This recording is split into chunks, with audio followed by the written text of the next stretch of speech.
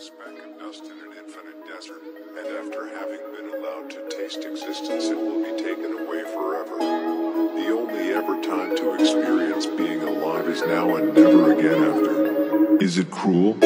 Should have we never been given the taste of existence knowing that it will be eventually forever taken